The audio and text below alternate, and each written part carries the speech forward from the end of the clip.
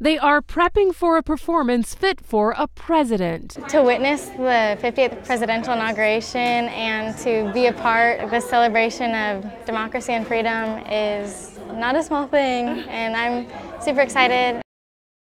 13 youngsters in Virtuosi of Houston, a pre professional orchestra for gifted youngsters, have been invited to play at several presidential inaugural events in Washington, D.C. Seven of the kids come from Cy Fair ISD.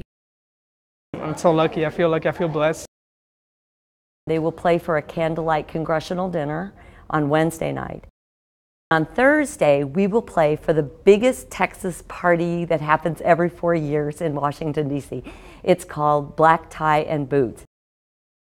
You would never think that a high school student in an orchestra would go and play, right, at those type of events, but it's, it's very exciting.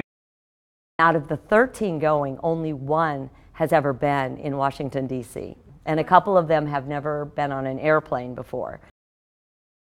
17 year old Leilani Lawton almost missed out. She thought about quitting violin a year ago. I didn't see myself going anywhere. I didn't see me making a difference in people's lives with music.